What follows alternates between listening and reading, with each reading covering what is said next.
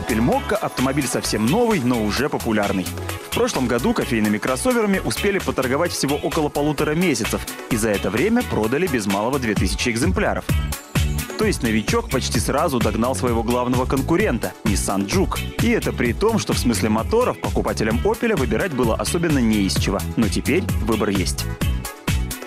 Если раньше Мокку продавали только с турбомотором объемом в 1,4 литра и мощностью 140 лошадиных сил, то теперь те же 140 лошадиных сил можно получить безо всякого турбонаддува. Для этого под капот небольшого кроссовера поселили атмосферный двигатель объемом в 1,8 литра.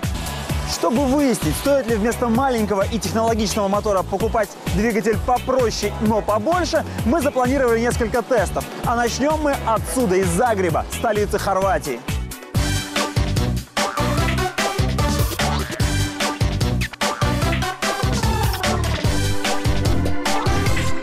Хорватия нам знакома, во-первых, как часть бывшей союзной Югославии, а во-вторых, как популярное курортное место.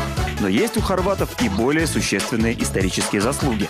В свое время именно хорватские солдаты, воевавшие в армии Наполеона, начали повязывать на шею платки, причем делали они это без особенного практического смысла. На вопрос французов «А что это у вас такое на шее?» незнакомые с языком Вольтера хорваты просто называли свою национальность. А во французском языке появилось слово «ля крават», то есть галстук. Так что если и есть на свете столица современного делового стиля, то это не Париж или Милан, а как раз Загреб. Мокка – автомобиль, безусловно, стильный. Как и все современные «Опели», он несет на себе авторскую печать вице-президента по дизайну Марка Адамса. Именно этот человек придумал знаменитую ударную волну. Именно его усилиями современные «Опели» выглядят гораздо дороже своей денежной стоимости. Мокка одновременно и похожа, и не похожа на остальные «Опели». На ее боковине есть знаменитая ударная волна, ставшая родовым признаком автомобилей марки. Но фары, арки, бамперы, все элементы дизайна вылеплены не так, как у остальных «Опелей». И все равно «Опель» в Мокке узнается, даже если оторвать эмблему. Главное, Мокка не похожа на ближайшую родственницу – Корсу. Различия не ограничиваются внешностью и продолжаются в интерьере. Пластик дорогих версий изо всех сил прикидывается кожей, которую так любят владельцы больших внедорожников.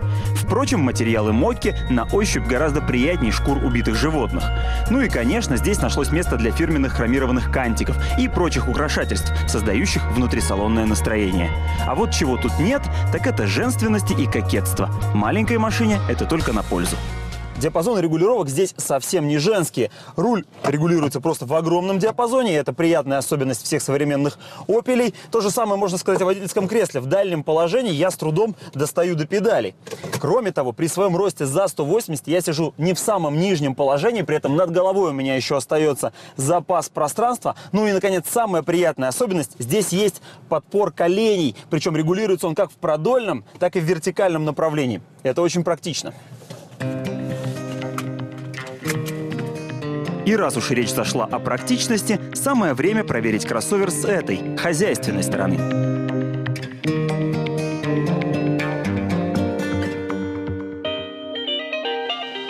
Это окраина Любляны, столицы Словении. Место это называется BTC-центр, и формально это один из крупнейших в Европе торговых центров, хотя правильнее было бы считать это место торговым городом. Благодаря удачному географическому расположению за покупками сюда приезжают не только местные, но и жители Хорватии, Италии и даже Австрии. Здесь продается буквально все, от галстуков и кроссовок до холодильников и мотоциклов. Найти более подходящее место для испытаний грузовых возможностей кроссовера просто невозможно. Багажник у Моки, конечно, больше, чем у Корса. Здесь 356 литров, а не 285. При помощи манипуляции со спинкой заднего сиденья грузовой объем можно увеличить до 1372 литров. Но для этого, во-первых, придется куда-то деть полку, во-вторых, зайти со стороны салона, потому что, оперируя со спинкой заднего сиденья отсюда, со стороны багажника, можно запросто испачкаться о бампер. Есть и хорошие новости. Велосипед не будет препятствием для вашего шопинга, потому что и до совершения покупок, и после будет жить на своем отдельном выдвижном креплении. Помимо шопинга, Словения славится термальными источниками. Говорят, они обладают исключительными тонизирующими свойствами. Жаль, только проверить это не получится. Наше плотное расписание гонит нас все дальше и дальше. А согреваться и повышать свой тонус придется другими методами.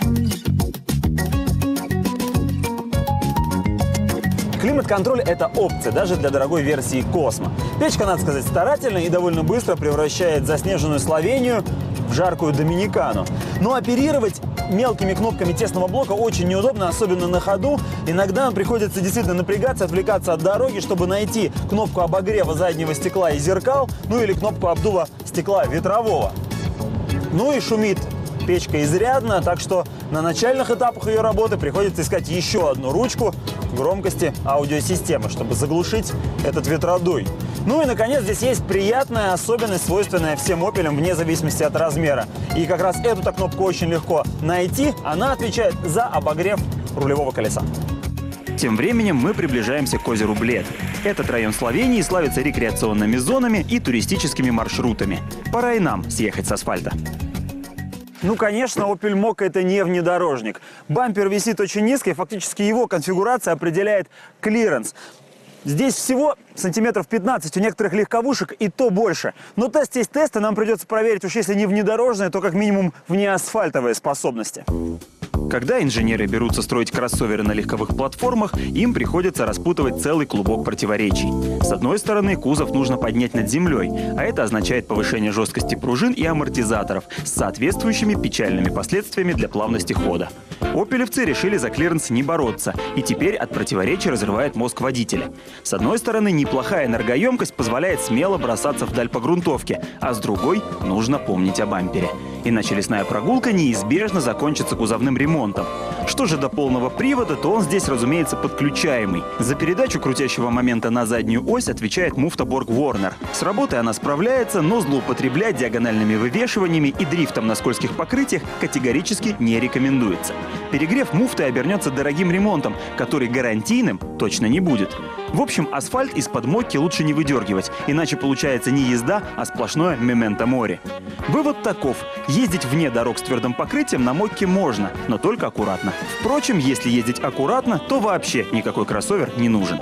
А мы движемся вперед к новым испытаниям. Впереди Австрия, страна горных лыж. Займемся и мы горными дисциплинами. Правда, у нас будут не только спуски, но и подъемы. В отличие от машин с турбомоторами, у этого кроссовера не электрический, а классический гидроусилитель. В теории это означает более понятное рулевое управление, а значит и больше удовольствия от общения с ним. Руль, надо сказать, и вправду, на удивление, прозрачный. Точно чувствуется и градус, на который поворачиваются управляемые колеса, и момент, когда они начинают соскальзывать с траектории. Проблема только в том, что руль, несмотря на эту информативность, очень легкий. Поэтому возникает такое ощущение несерьезности происходящего, как будто ты за рулем не настоящего автомобиля, а игрушечной машинки.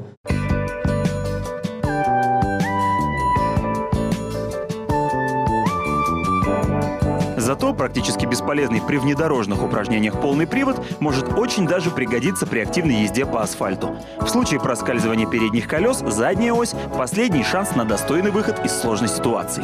Впрочем, чтобы попасть в такую ситуацию, нужен подходящий мотор. Но вот этому четырехцилиндровому агрегату похвастаться особенно нечем. В моем распоряжении 140 лошадиных сил и всего 175 ньютон-метров. Это даже меньше, чем у мотора 1.4.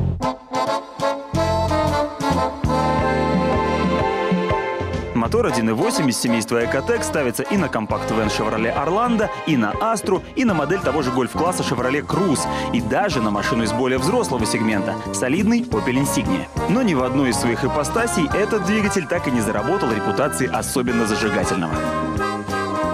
Мотор, конечно, старается, но все равно такая динамика понравится только велосипедисту.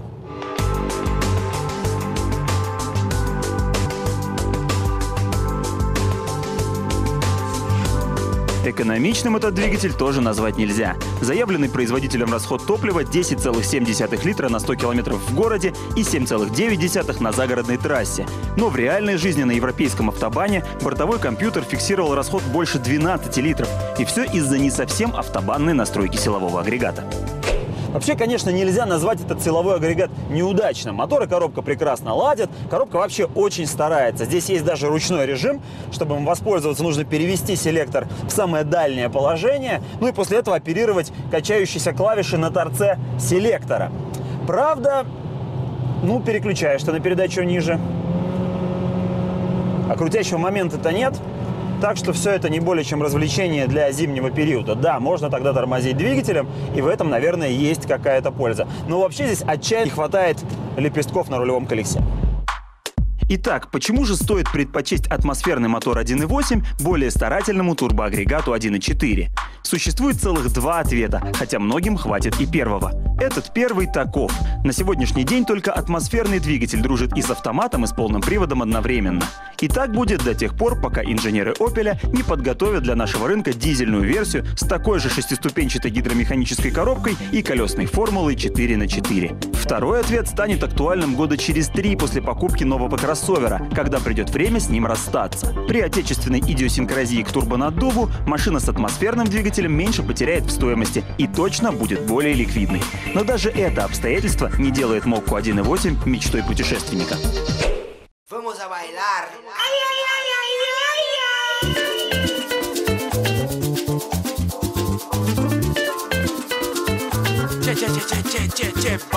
За два дня мы проехали с Opel Mokka около 700 километров. Это не бог весть какое дальнее путешествие, но определенные выводы сделать можно.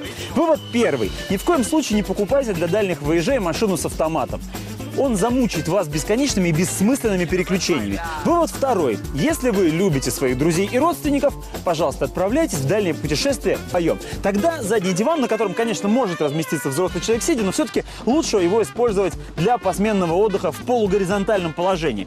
Ну а во-вторых, э, здесь можно хранить разнообразные гаджеты. Тут для них есть даже 220-вольтовая розетка, чтобы их можно было заряжать. Так что гаджетам здесь будет гораздо комфортнее, чем людям. Ну а самому Opel Mokka гораздо привычнее жить в черте города, чем за ее пределами.